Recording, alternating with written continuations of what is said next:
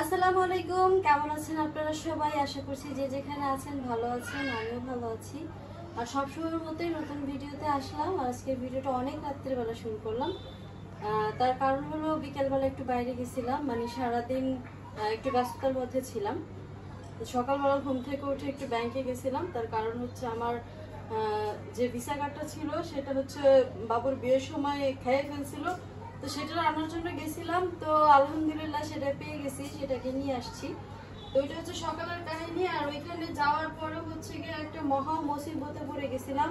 মিছিল টিসিল ঝায় ঝামেলা, কারণ আমার ব্রাঞ্চটা হচ্ছে গিয়ে নিউ মার্কেট ব্রাঞ্চ ছিল, ঢাকা ঢাকা কলেজের একদম অপোজিটে আর কি। তো অনেক বড় একটা মিছিলের পাল্লায় পড়ে গেছিলাম। আমি যখন যাই তখন লিটলি ছিল মানে মিছিল আসবে আসবে এমন একটা ভাব ছিল। তো তখন হইল মিছিল ছিল না, তো আমি হলো ব্যাংকের ভিতরে ঢুকছি, তারপর হচ্ছে কথাবার্তা বলতেছিলাম, আমার যে কাজগুলো ছিল সেগুলো করতেছিলাম। তো সে কাজগুলো শেষ করতে করতেই হচ্ছে গিয়া মিছিল শুরু হয়ে গেছে, ভাঙচুর শুরু হয়ে গেছে, তখন হইল ব্যাংকের মেইন গেট যেটা, সেটা লাগাই দিছে কেচি গেট লাগাই দিছে আর হচ্ছে গিয়ে সবাইকে হুঁশিয়ারি দিয়ে দিছে যে যদি আর এক মিনিটের জন্য ব্যাংক খোলা রাখা হয়, তাহলে ব্যাংকারদের অনেক ক্ষতি করে ফেলবে ছাত্ররা। তো আমি মনে মনে একটু ভয়ই পাইছিলাম। তো ভয় পাওয়ার পরে হচ্ছে ব্যাংক আর খোলা রাখার কোনো অপশন ছিল না। পরে আমি হচ্ছে ব্যাংকের পিছনের যে গেট ছিল, ওই গেট দিয়ে বের হয়েছে। আমার ওইখান দিয়ে বের করছে। আর বলছে অনেক সেফলি যাবে। তো যেটা হয় কি, ব্যবসা প্রতিষ্ঠানগুলারে খুলতে দিচ্ছে না। কিন্তু সাধারণ জনগণ যারা আছে, তাদেরকে কোনো কোনো রকম কোনো আঘাত করে নাই, আমি দেখলাম যতটুকু। ওখান থেকে বের হবার পরে কিন্তু মিছিল দেখছি, সবকিছুই দেখছি ওই ওই ওই সামনে দিয়ে আসছে কিন্তু প্রশ্নও করে নাই, আপনি কোথায় গেছিলেন বা কেন গেছিলেন? এই ধরনের কোনো প্রশ্নও হয়নি তো সবকিছু মিলে ওই সময়টা আতঙ্কের মধ্যে গেছে। তারপর বাসায় আসলাম, বাসায় আসার পরে বিকেলবেলা আবার ছোট মামা ফোন দিল। ছোট মামার সাথে আবার বাসা খুঁজতে গেলাম। ছোট মামারা বাসা চেঞ্জ করবে, সেটার জন্য গেলাম। তারপরে হচ্ছে গিয়ে ওইখান থেকে আসার সময় ভাবলাম আবার ছয়তলা বাইয়ে উঠবো। তো পরে আর ছয়তলা বাইয়ে না উঠে আবার গেলাম হচ্ছে ওই বাসায়। মিমের বাসায় গেলাম। তার কারণ হচ্ছে আজকে তৃষা আপুর আসছে। আর তান্ডে দেখে না অনেক দিন হয়েছে সেই যে আমি যখন পাবনাতে গেছিলাম মিমার আমি বেড়াইতে, তখন দেখছি তারপর থেকে আর তান্ডে দেখা হয়নি। তো অনেক ইচ্ছে করতেছিল তান্ডে দেখতে এই জন্য হলো চলে গেছিলাম।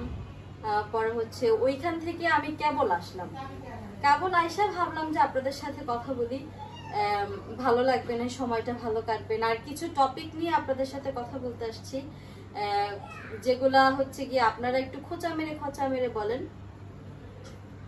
প্রথম কথা হচ্ছে, আপনারা তো জামাইরে সবাই দেখছেন, তাহলে আমি কেন হচ্ছে গিয়া জামার মুখ দেখাইতে বারণ করছি? দেখেন, আমি কিন্তু কাউরে এটা বলি নাই যে তোরা আমার জামাইয়ের মুখ কেউ দেখাবি না, ঠিক আছে? আমি বলছি যে ওরা ওরা তো সবাই দেখে। মানে যারা ব্লগ দেখে, যারা মোটামুটি আমার ব্লগ দেখে, তারা কিন্তু ওর ব্লগও দেখে। হ্যাঁ ওইভাবে নিষেধ করার কিছুই নাই, ঠিক আছে? আমি শুধু এতটুকু চাইছি যাতে আমার আমার যারা ফ্যামিলির মানুষ আছে, যেমন হচ্ছে আমার ভাই আছে আমার বোন আছে বা আমার ভাইয়ের বউ আছে, ওরা মানে ওদের ভিডিওতে যেন ও একদম বিয়ের সময়তেই আসে। ঠিক আছে, ওর ভিডিওতে যে ওরা দেখেন না, তাতে তো আমার কোনো সমস্যা না আমি কিন্তু একবারও বলি নাই যে কেউ দেখেন না বা এই করেন না, সেই করেন না। ও ব্লগিং করে, আপনারা দেখেন, আপনারা সবাই আমার বলছেন, দেখেন সমস্যা না আমি বলছি, আমার যারা ভিউয়ার্স আছে, যারা আমারে ভালোবাসে, তারা কিন্তু সবাই চাইবে যে আমার কাছ থেকেই যেন রিভিল হয় আমার হাজবেন্ডের ইয়েটা। বা ই- সবকিছু যেন এখান থেকে হয়। সেই জন্য আমি চাইছি যে আমাদের আমাদের যারা ভিউয়ার্স আছে মানে তারা হচ্ছে কি আমার বা আমার ভাইয়ের বা আমার বোনের ভিডিওতে একসাথে দেখুক। একবারে বিয়ের দিন হোক বা হলুদের দিন হোক, যেদিনই হোক, আমরা একসাথেই সেটা সবাই দেখি।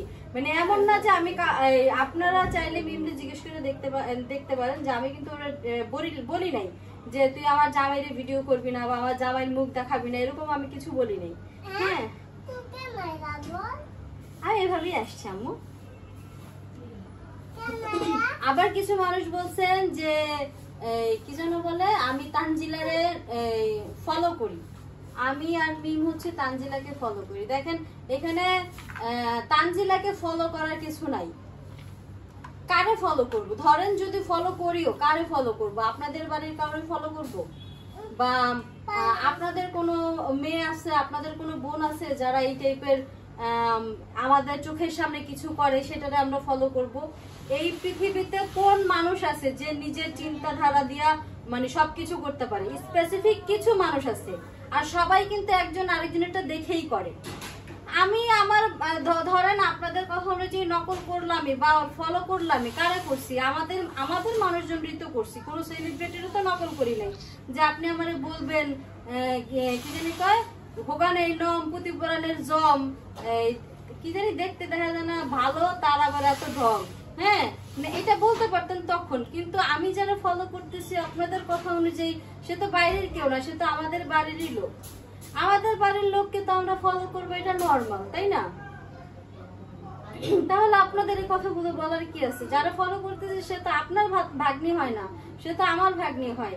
সে যখন খালামণি বলে ডাকে, তখন তো সে আমারে ডাকে, তখন তো সে আপনারে ডাকে না। তাহলে আমি যদি ওরা ফলো করি, তাহলে আপনাদের কেন চলে? সেটা আমাকে বলেন। এটা হচ্ছে ফলো এটা ফলো করি কেন? সেই সেই জন্য আপনাদেরকে বললাম। আরও একটা কথা যে ওরা আসলে ফলো করার কিছু নাই। তার কারণ হচ্ছে ও হচ্ছে একটা বাচ্চা মেয়ে, আমাদের পেটের মেয়ে, ও যেটা করছে সেটা আমরা কখনোই করতে পারব না। এটা এটা কখনোই হয় না হ্যাঁ? ও ওর মতো করে করে, আমরা আমাদের মতো করে করি। আর আমি এটা কখনোই চাই নাই যে ও যেমন ওর হাজবেন্ডের মুখ রিভিল করছে বিয়ের সময় আমি আমি চাইছি যে, ওরে তো সবাই চিনে, ওরে তো সবাই দেখে। আমি শুধু এতটুকু চাইছি যে আমাদের যারা আছে আমাদের ভাই বোনেরা যারা আছে আমরা যারা ভিডিও করি তাদের ভিডিওতে বিয়ের সময় দেখুক আর কিচ্ছু না। আমি কিন্তু একবারও কোনো কমেন্টে বা কোনো ভিডিওতে একবারও বলি নাই যে আমার যে হাজবেন্ড হতে যাচ্ছে তারা তারা আপনারা কেউ চিনেন না। বা সে কি করে বা মানে তার বিষয় নিয়ে কিন্তু আমি কখনোই কোনো কথা বলি নাই। কারণ আমার কাছে মনে হয়েছে তার বিষয় নিয়ে আমার কিছু বলার নাই। আমি কেন তার বিষয় নিয়ে কথা বলব? যখন সময় হবে তখন বলব। যখন মনে হবে যেন এখন সে তাকে নিয়ে কথা বলাটা আমার প্রয়োজন, আমার দরকার আছে, তখন আমি অবশ্যই বলব। তখন কিন্তু আমি একবারের জন্য কারোর পারমিশন নিব না। এখন তো তার বিষয় নিয়ে কথা বলার প্রথমত আমার রাইট নাই, দ্বিতীয়ত আমি চাই না। কেন কেন কেন বলব? তার যদি কোনো কিছু বলার থাকে, তাহলে তো সে নিজেই বলবে। বা তার যদি কোনো কিছু যে সে আমার নিয়ে শর্ট ভিডিও বানায়, যাই করে, সেগুলা দেখেই কিন্তু আপনারা বুঝছেন। আমি কিন্তু আজ পর্যন্ত সেটা নিয়ে আপনাদেরকে একটাও কমেন্ট করি নাই, বা সেই কমেন্টের কিন্তু একটাও রিপ্লাই দিইনি। কেন দিই নাই? কারণ আমার মনে হয়েছে আসলে এইটা নিয়ে বলার কিছু নাই। তার মনে হয়েছে সে বানাইছে, আমি আজ পর্যন্ত তারও বলিনি, আপনি কেন বানান? হ্যাঁ তো বিষয়গুলো হচ্ছে এইটা। তো সবকিছু মিলাইয়া আমার কাছে মনে হইল যে আসলে আপনাদের এই কথাগুলোর অ্যান্সার আমার দেওয়া উচিত, সেজন্য আমি দিলাম। যদি আমার এই কথা বলাতে আপনাদের কারোর মনে কষ্ট লেগে থাকে, খারাপ লেগে থাকে, তাহলে অবশ্যই ক্ষমা সুন্দর দৃষ্টিতে দেখবেন। আর যদি ভালো লাগে, অবশ্যই চ্যানেলটাকে সাবস্ক্রাইব করে দিবেন।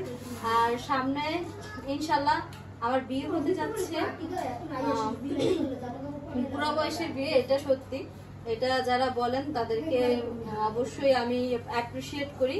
তার কারণ হচ্ছে অবশ্যই আমার বুড়া বয়সের বিয়া। আমার আমার বয়স একদম কম না, আমি কোনো কুচি বাচ্চা না, ঠিক আছে আপনাদের কথা।